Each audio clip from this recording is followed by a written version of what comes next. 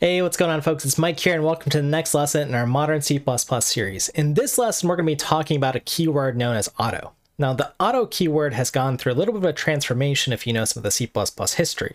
It used to just mean automatic storage, which is sort of the default when we create a variable and place it on the stack. So it wasn't really used or that very useful for us because it was redundant in how we would use it. Now, that said, the auto keyword got repurposed in modern C++. So this means a way to automatically deduce or infer a type. So let's go ahead and look at it in CPP reference and then look at a few examples of how we might actually use auto and discuss whether we even should. So with that said, let's go ahead and do a search here for auto here. You'll get some nice uh, auto insurance uh, search results here, but what we're really looking for is in our keywords here. And again, this is the deprecated thing that was before C++ 11, talking about the storage of a variable. What we're really interested in is the placeholder for a type specifier.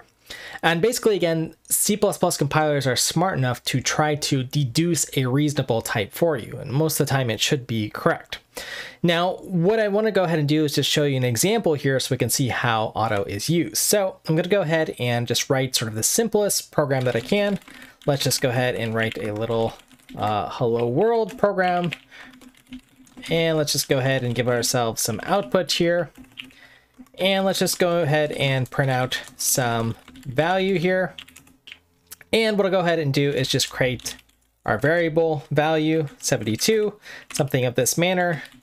We'll compile it. And again, this is a C++ 11 or beyond feature, so I'll use C++ 20 here.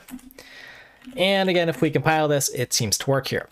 Now, the advantage or where we use auto is that we don't have to specify this type because usually we can figure out based on how this type is constructed, whether it is using a constructor or if it's a primitive type, that this really should just be an integer here. So let's go ahead and just change this to uh, auto to show you an example here. And if I go ahead and recompile this program and rerun it, then we'll again see that we get the same output. So the C++ compiler is smart enough to figure out that this type is an integer, or maybe a long, or maybe a short, or some other type that can hold 72. Now, that bears a little bit of a discussion here because maybe this was really meant to just be a char, for instance, for which 72 would fit within uh, 8 bits of information because we could store a range of either 0 to 255 or negative, you know, 127 to 128 or whatever. Um, so that is something we do have to be careful of when using auto. So I want to open that up to a little bit of a larger discussion here in a moment. But before I do that, let me go ahead and just output this program here. And I want to bring this into a tool that we often like uh, using in this series, and that's the CPP Insights tool. Uh, so we can go ahead and just see that when I run this through CPP Insights, you'll see that in fact, the compiler is picking an integer here. So that's a relatively smart choice here. Now, if I go ahead and change this to say uh, 72.02, let's go ahead and run this again. And let's see what value it picks here. Now this time we can go ahead and see that it picks a double here because, well, that's the default type here. If we explicitly set this to a float, then it should also initialize it as a float here. And again, we can see uh, how this is done with the keyword of auto. So again, the compiler is trying to figure out the actual type based on what is the right-hand side here. So that's where things are sort of interesting here. Now, if our code goes through some sort of evolution, this is kind of nice because, for example, maybe I decide that, hey, this value thing here is, well, let's go ahead and put some string here, uh, like Mike here. And again, we could go ahead and see that it just sort of picks out what the right thing is to do here. Now, what if I had indeed meant uh, to include the string library, though? Will this be smart enough to figure out, well, value was meant to be a string? And in this case, it's a little bit ambiguous. Now, what we really do want here, though, or what I should say is it's not really ambiguous because this is a uh, string literal, and that is how we would sort of instantiate this. But again, maybe we were including string and we intended this to be a string. And for example, what if we were trying to do different operations like uh, value.size, for instance, uh, to see the size of this string? Would it be able to figure this out? And the answer is, well, it looks like not so much. So I would actually have to change this to a string run this through here. And eventually we can see that this code works. So auto is not necessarily smart enough to guess what our intent is. So we do have to be a little bit careful or just sort of assume or um, maybe use auto in cases where it is very obvious what it's going to be. So let me go ahead and show you one of those cases where we often use auto and where I also think it's acceptable. So I'm going to go ahead back to our code sample here, our main here, and let's just include another data type here. And I'm going to include the vector data type, which we've talked about a little bit in this series, but we'll eventually talk more about the standard template library here. And let's just go ahead and create some uh, vector here. Now, again, I'm going to be relatively explicit about what that type is here. Uh, let's just call this ints, for example, and we'll push back some ints, push back maybe one, and let's go ahead and push back uh, a few more values here.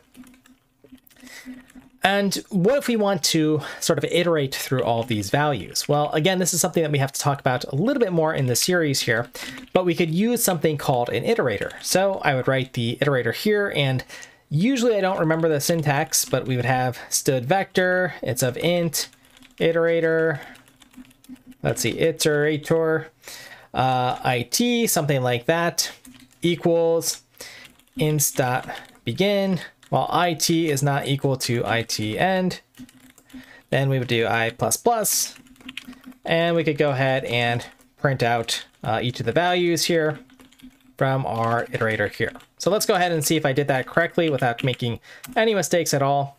And it looks like I made one mistake. With it end, we really want our collection, which is ints. And let's go ahead and try that again and IT. There we are. Okay. So as you can see, this is a bit of a mouthful here. And this particular line here where I have an iterator that I'm creating here, well, this is sort of what is implied here. This is usually pretty clear here. So this is one example where I will sometimes use auto. Uh, so that might be a matter of style, I would say, that it still works and is still able to deduce this type here. So let's go ahead and just run this through, again, the CPP Insights tool, just so that you can see what auto uh, picks out for us here. So I'm going to go ahead and copy this here, paste this in, make this just a little bit smaller. And you can see, well, there's a little bit of machinery behind this, but it is essentially generating the right iterator for us, whatever this huge uh, type is here. So that's usually a good use case of auto or something that's clear enough, for example. Now, again, I tend to, as a programmer though, like to explicitly write out all the types. You can use auto, and in a way, it sort of makes C++ feel like a more uh, dynamically typed language, like Python, for instance, where you're not typically specifying the types in Python uh, 2 or you know some of the earlier versions in Python 3, for example, uh, where you don't have to do that. So some programmers like that freedom, or maybe it allows you to iterate a little bit more, but I'm a little bit cautious, especially if I know I'll have code that's long lived, and I just want to see the explicit type as I showed it with that little string example. So we've looked at in this series a little bit some code style guides. So I went ahead and went to the Google C++ style guide just to see if they had anything and kind of did a little search for auto and they had some recommendations here. So you might use this as some guiding advice or just to see some other opinions beyond mine about when to use auto or not to use auto. Now you've also seen though where auto can be useful in templates. So for example, and let me bring up another example, which hopefully this example is a little bit familiar if you've been watching these videos in order. Make sure that you like and subscribe so you haven't missed these. And I'm going to overlay myself with myself here uh, just to show this little example here where we can use auto for return type when we are defining functions, for example. And in this particular example, what we were showing with multiply was if I have two different types here, auto can deduce what the result of that type might be. So for example, if we're multiplying a float in an int, we don't have to specify the actual return type as a float. The auto keyword can help us with that actual deduction. So that video was this one right here that I'll highlight, and you can go ahead and see that example if you want uh, to see that build up. So those are just a few use cases of auto, again, where it can be more clear or help you write some better code that uh, might be useful. Now, again, depending on what your school of thoughts or maybe your style guide is, you might have varying opinions on auto. In general, I think it's an okay thing to have in code bases, but just make sure you're using it consistently or in a clear way such that your type can be identified. A lot of IDEs that have good integrations, when you hover over things, will also be able to tell you what type it thinks it is or how it's going to compile it. So that can also be helpful. So keep that in mind. All right, folks, so this is a long overdue video on auto. I know it's a one of the exciting features that was added way back in modern C++ 11 that folks are really excited about, uh, but I just thought uh, we had seen it enough and it was time for its own dedicated video, so here you are. So hope you enjoyed that one. Give it a thumbs up if you did, and I'll look forward to seeing you folks in the next one.